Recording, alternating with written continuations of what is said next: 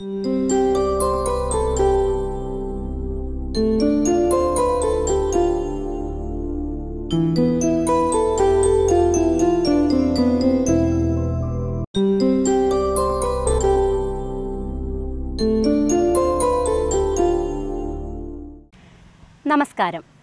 വിപാസനയിലേക്ക് എല്ലാവർക്കും സ്വാഗതം. കേരളത്തിലോ അല്ലെങ്കിൽ ഇന്ത്യയിൽ തന്നെയോ നിരവധി സവിശേഷതകളുള്ള ഒരു ക്ഷേത്രം. മടിയങ്കൂലം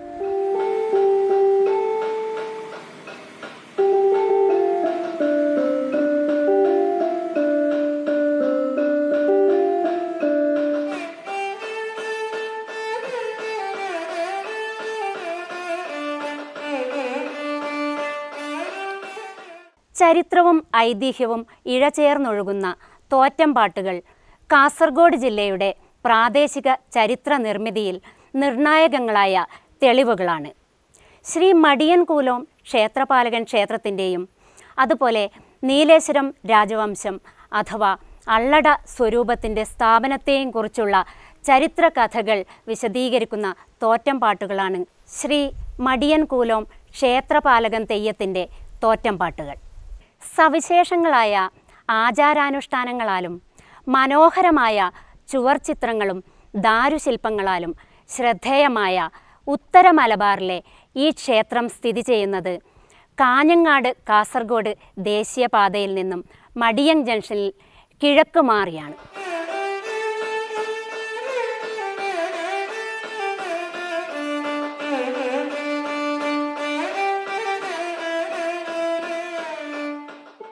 അബ്രാഹ്മണരും ബ്രാഹ്മണരും നിത്യപൂജയ്ക്കെത്തുന്ന കേരളത്തിലെയോ അല്ലെങ്കിൽ ഇന്ത്യയിലെ തന്നെയോ അപൂർവ ക്ഷേത്രങ്ങളിൽ ഒന്നാണ് ക്ഷേത്രപാലകൻ ക്ഷേത്രം.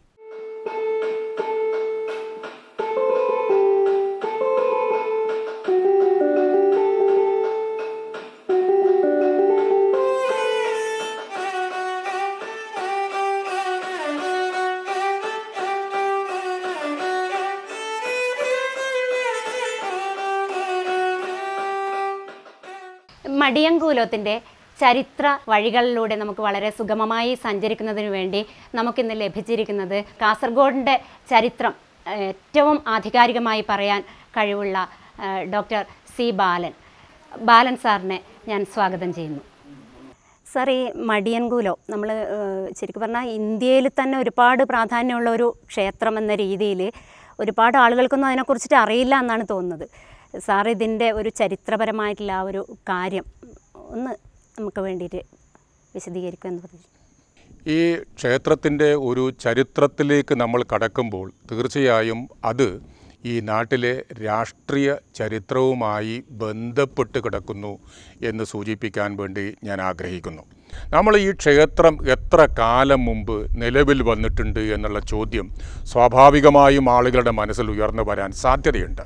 അങ്ങനെയുള്ള ഒരു ചിന്ത അങ്ങനെയുള്ളൊരു ചോദ്യം നമ്മുടെ മനസ്സിലേക്ക് കടന്നു വരുന്ന സന്ദർഭത്തിൽ സ്വാഭാവികമായും അത് ഈ പ്രദേശത്തെ നാടുവാഴി ഭരണത്തിലേക്ക് നമ്മുടെ ശ്രദ്ധയെ കൊണ്ടുപോകും. നമ്മുടെ ഇപ്പോൾ ഈ ഈ അള്ളട പിന്നെ രാ പിന്നെ രാജ്യത്തിന്റെ അല്ലെങ്കിൽ അള്ളട സ്വരൂപത്തിന്റെ ചരിത്രം പറയുന്ന ഒരു മഹത്തായ കൃതി എന്ന് വേണമെങ്കിൽ പറയാം. അത് ക്ഷേത്രപാലം തെയ്യത്തിന്റെ തോറ്റമാണ്.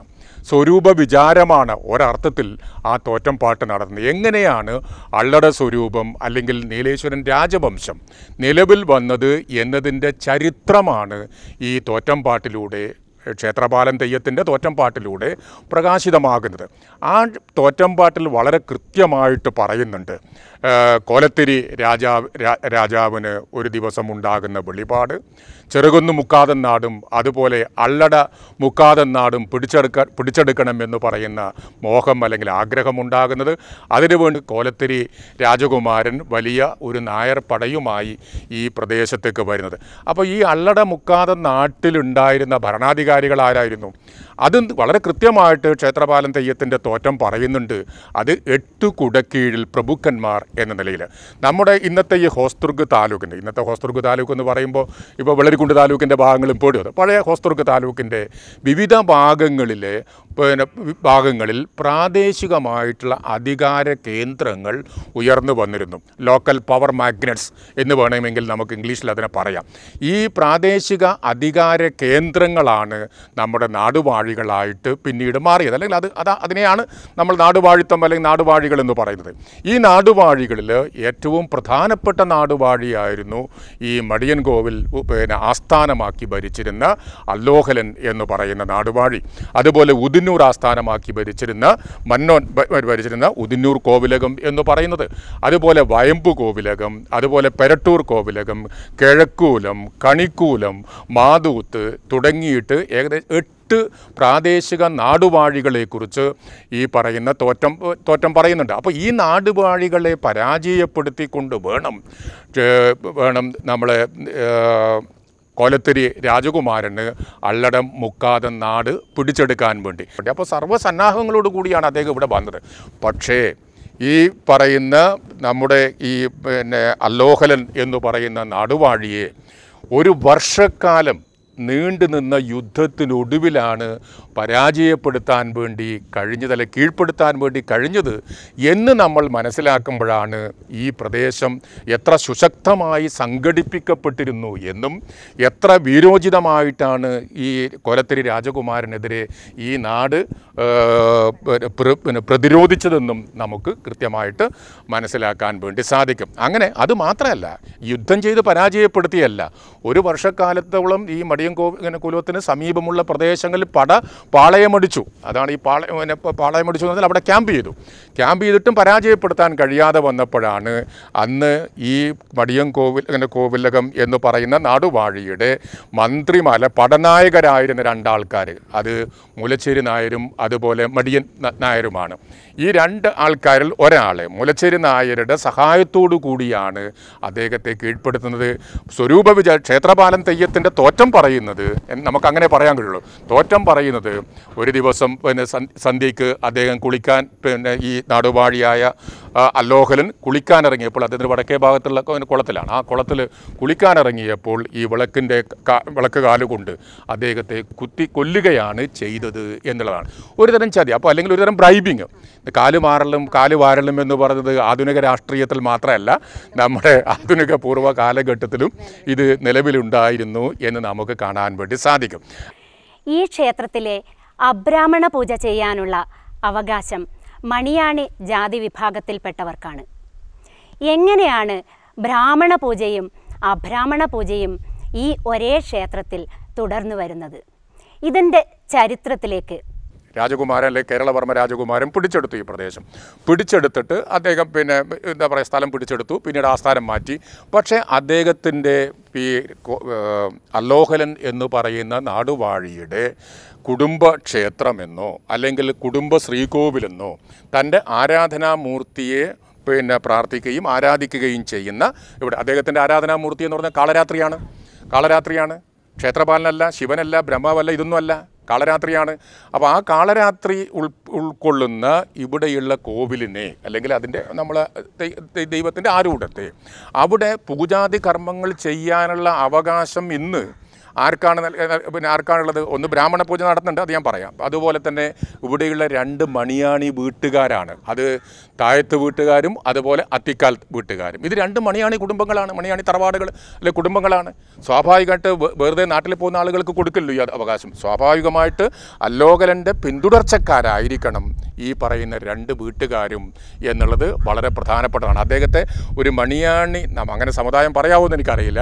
ഒരു വിഭാഗത്തിൽപ്പെട്ടതാണ് എന്ന് അദ്ദേഹത്തെ ബന്ധിപ്പിക്കാൻ ലിങ്ക് ചെയ്യാൻ ഉള്ള ഏറ്റവും നല്ല ഒരു പിന്നെ ഉദാഹരണം അല്ലെങ്കിൽ ഉപാധി എന്ന് പറയുന്നത് ഈ താഴത്ത് വീടും അതുപോലെ അത്തിക്കാൽ വീടും എന്നുള്ളതാണ്.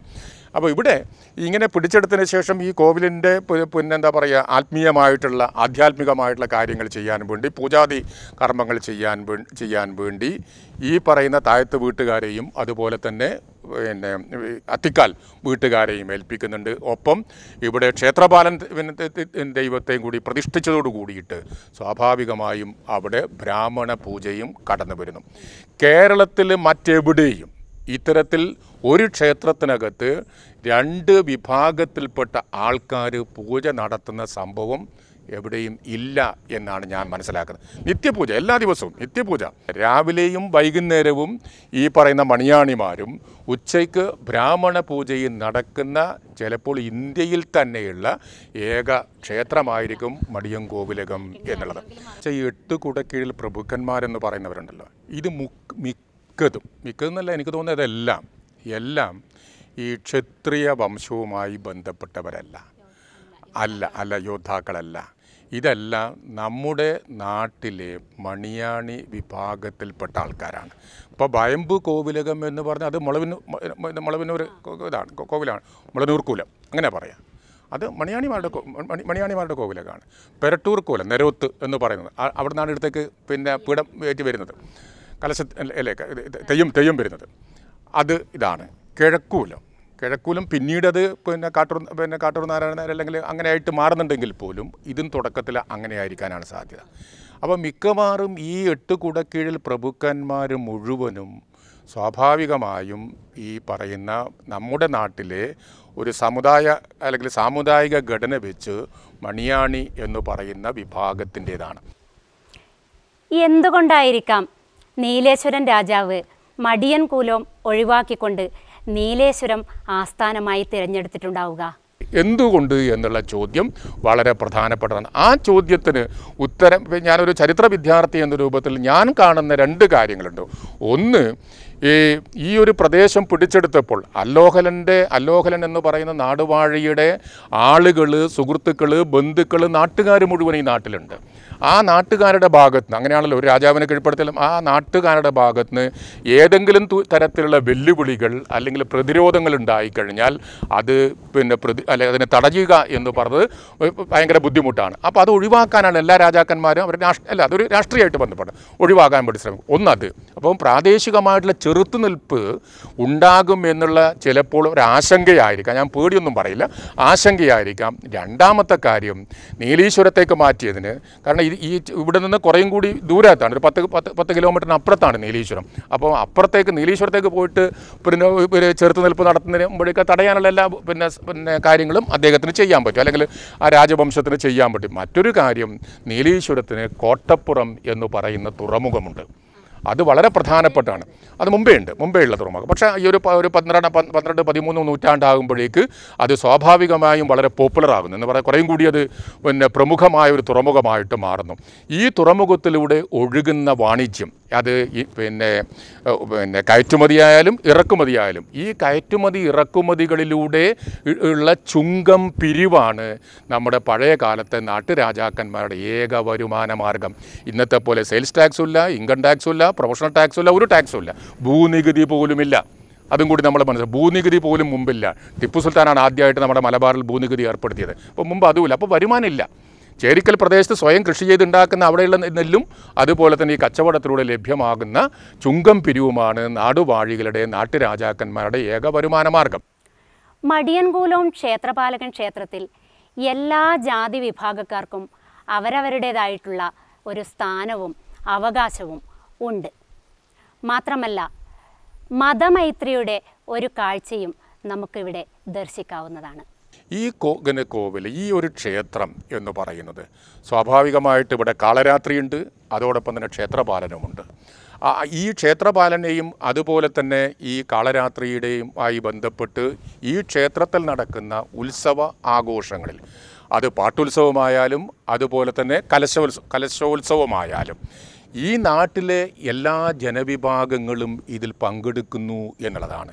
ഈ നാട്ടിലെ മിക്കവാറും എല്ലാ സമുദായങ്ങളും ഞാൻ വീണ്ടും അതേ വാക്കിന് സമുദായങ്ങൾക്കും ഇതിൻ ഈ ഉത്സവ ആഘോഷങ്ങളുടെ നടത്തിപ്പിൽ അവരുടേതായിട്ടുള്ള അവകാശങ്ങളുണ്ട്. അനുഷ്ഠാനപരമായ അവകാശങ്ങളുണ്ട് എന്ന് വേണമെങ്കിൽ പറയാം. അത് എല്ലാ മിക്കവാറും എല്ലായിടത്തും അങ്ങനെ അങ്ങനെ തന്നെയാണ്.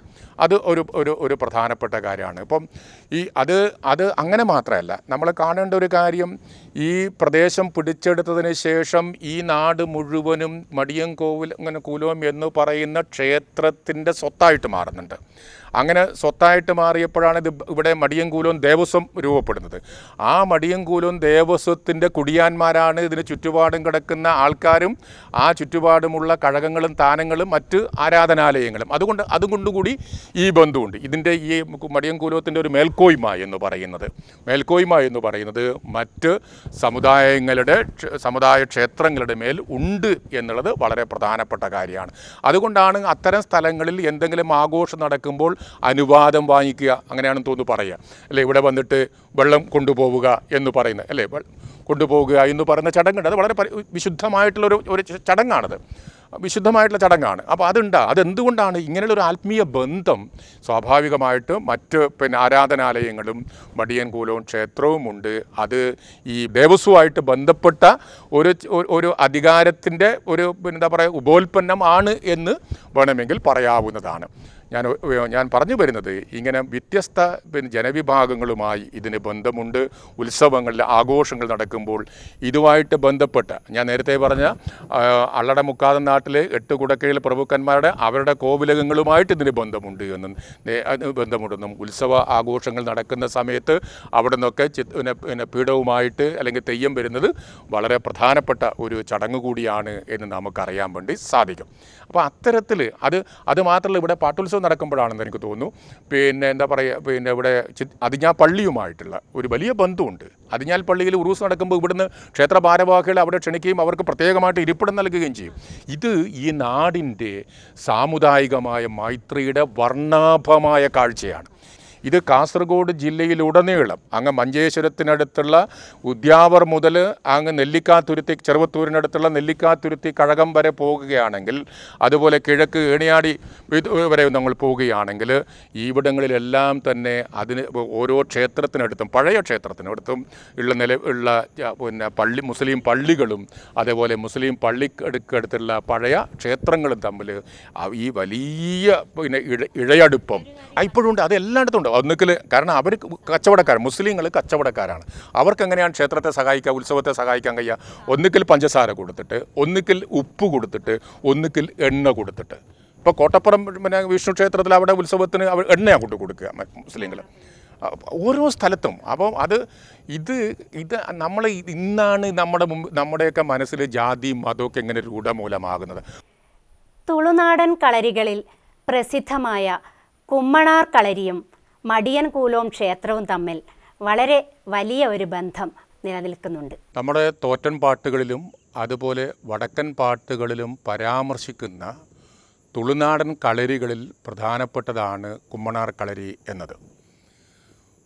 വടക്കൻ പാട്ടിൽ പറയുന്നത് ഓടങ്കര മാടങ്കര കുമ്മണാർ കരിന്തളം എന്നാണ്. ഇതാണ് ഏറ്റവും പ്രധാനപ്പെട്ട നാല് കളരികൾ തുളുനാടൻ കളരികൾ. ഈ തുളുനാടൻ കളരികളിലാണ് നമ്മളെ കടത്തനാടൻ കളരിയിൽ അല്ലെങ്കിൽ കളരികളിൽ അഭ്യസിക്കാത്ത പല അടവുകളും പിന്നെ പഠിപ്പിച്ചിരുന്ന സ്ഥലമാണ് ഈ തുളുനാടൻ കളരികൾ. അതുകൊണ്ട് വടക്കൻ പാട്ടുകളിലെ വീരനായകന്മാർ തച്ചോളി ഓതേനൻ അതുപോലെ അരിങ്ങോടർ ഉൾപ്പെടെയുള്ള വീരനായകന്മാർ നായകന്മാരിൽ പലരും അവരുടെ ഉന്നത വിദ്യാഭ്യാസത്തിന് വേണ്ടി അങ്ങനെ പറയാൻ തോന്നുന്നു. ഉന്നത പഠനത്തിന് വേണ്ടിയിട്ട് കളരിയിലെ ഉന്നത പഠനത്തിന് വേണ്ടിയിട്ട് ഈ തുളുനാട്ടിലേക്ക് വരികയും തുളുനാടൻ കളരികളിൽ അഭ്യസിക്കുകയും ചെയ്തതായിട്ട് വടക്കൻ പാട്ടിൽ പരാമർശമുണ്ട്. തോറ്റം പാട്ടിലും പരാമർശമുണ്ട്. ഈ ക്ഷേത്രത്തിൽ ഉത്സവം നടക്കുമ്പോൾ പാട്ടുത്സവം നടക്കുന്ന സമയത്ത് ഇവിടെയുള്ള ക്രമസമാധാനത്തിന്റെ ഉത്തരവാദിത്വം അത് കുമ്മണാർ കളരിക്കാണ്. കുമ്മണാർ കളരിയിലെ വല്യച്ഛൻ എന്നാണ് പറയുക അതിന്റെ കളരി മൂപ്പനെ പറയുന്ന വല്യച്ഛൻ എന്നാണ് പറയുക ആ അച്ഛൻ ഇവിടെ വരികയും ചൂരലും എടുത്തിട്ട് ചൂ കയ്യിൽ ചൂരലും എടുത്തിട്ട് ഈ ഇതിന് മുമ്പിൽ ഈ പിന്നെ ഉത്സവത്തിന്റെ ഭാഗമായിട്ട് ഘോഷയാത്ര അല്ലേ നമ്മൾ ഇവിടെ നടക്കുമ്പോൾ അതിന് മുമ്പിൽ അദ്ദേഹം ഉണ്ടാവും. എന്ന് പറഞ്ഞാൽ ആ- ആൾക്കാരുടെ അതിന്റെത്തേക്ക് മുമ്പിലേക്ക് വന്ന് തട- തടയാതിരിക്കാൻ വേണ്ടി അല്ലെങ്കിൽ അവിടെ എന്താ പറയുക സമാധാനം ശാന്തി എന്നൊക്കെ പറഞ്ഞ രൂപത്തിൽ അവിടെ അതിന്റെ മുമ്പിൽ നടക്കും. എന്ന് പറഞ്ഞാൽ ആരെങ്കിലും ഇതിനെന്തെങ്കിലും ദ്രോഹം ചെയ്താൽ കളരിയിലെ പയറ്റി തെളിഞ്ഞിട്ടുള്ള ആൾക്കാർ കൂടെയുണ്ട് എന്ന് ആൾക്കാരെ ഓർമ്മപ്പെടുത്തുന്നത് നമ്മളിപ്പോൾ ഘോഷയാത്ര നടക്കുമ്പോൾ പോലീസുകാർ മുമ്പിൽ നടക്കണ പോലെ. സ്വാഭ അപ്പോൾ അങ്ങനെ വേണമെങ്കിൽ പറയാം നമുക്ക്. അതുപോലെ ഈ കളരി ആശാൻ അല്ലെങ്കിൽ കളരി മൂപ്പൻ വലിയച്ഛൻ ഈ ഘോഷയാത്രയുടെ ഇതിന്റെ മുമ്പിൽ മുമ്പിലുണ്ടാകും എന്നുള്ളതാണ്. അപ്പോൾ സ്വാഭാവികമായിട്ട് ഞാൻ പറയുന്നത് ഇത്രയേ ഉള്ളൂ. കുമ്മണാർ കളരിയുമായി മടിയം കൂലൂത്തിന് വളരെ പ്രാധാന്യമുണ്ട് എന്നുള്ളതാണ്. മാത്രമല്ല ഇത് നമ്മുടെ അല്ലോഹലൻ നാടുവാഴിയുടെ കളരിയിൽ ഏറ്റവും പ്രധാനപ്പെട്ടതാണ് എന്നും ഞാൻ വിചാരിക്കുന്നു. കാരണം ഇത് മണിയാണി കളരിയാണ്. നമ്മളെ കരിന്തളം കളരി മണിയാണി കളരിയാണ്. ഇതിന്റെ ഉപ ഈ കളരികളിൽ പഠിച്ച ആൾക്കാരായിരിക്കും മറ്റ് തൊട്ടപ്പുറത്തുള്ള ചെറിയ ചെറിയ കളരികൾ സ്ഥാപിച്ചിട്ടുള്ളത്. കളരികളുടെ ഒരു ഘോഷയാത്ര തന്നെ നമ്മുടെ കാസർഗോഡ് ഈ പറയുന്ന ഈ മടിയും കൂലൂത്തിന് പരിസരങ്ങളിലുണ്ട് എന്നുള്ളതാണ്.